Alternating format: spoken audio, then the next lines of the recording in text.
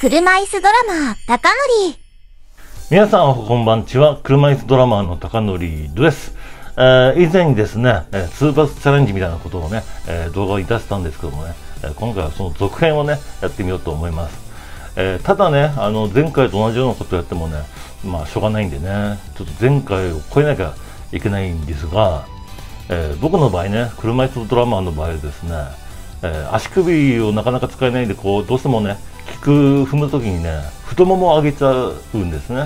太ももを上げないとむしろ叩けない、踏めないんですけども。なので、こう、テンポをね、上げるってことは、ちょっと難しいかなと思うんですが、ただね、あの、前回はですね、足、あ、もうダメだって時にですね、あの、フィルを入れてね、足の休憩を実は入れてたんですね。なので、え今回はですね、このフィル休憩、もう休憩なんですけど、フィルはね。フィル休憩なしでどこまで足で踏ん張れるかっていうことでやってみようと思います。で、どうしてもダメになったら、すいません、やめます。とりあえずやるだけやってみます。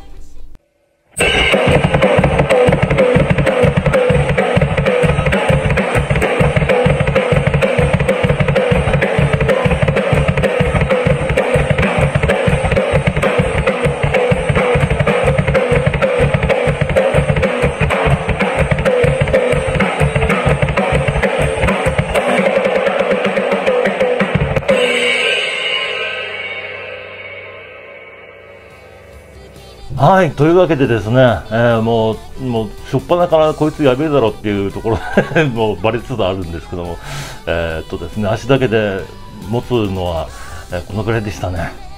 まだまだね、もちろんこうも、リズムもめちゃめちゃなんですけども、とりあえずですね、足だけで持つかっていうところで、え今日はね、挑戦してみました。えー、まだまだ、えー、これからもこの挑戦は続けていこうと思いますので、えー、ぜひね、チャンネル登録などしていただけると、えー、とっても励みになります。はい、というわけでですね、えー、本日もご視聴ありがとうございました。えー、車椅子ドラマ高則でした。おいじゃご視聴ありがとうございました。